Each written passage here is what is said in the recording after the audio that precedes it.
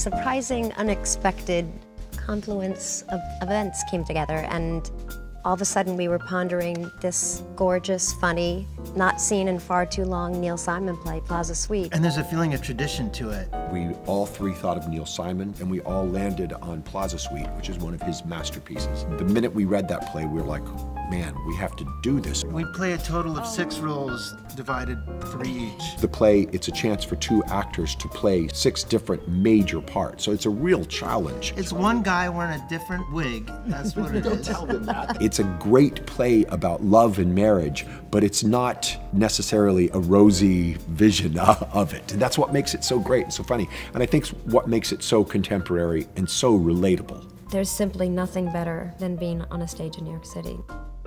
Oh my gosh, I'm crying with excitement.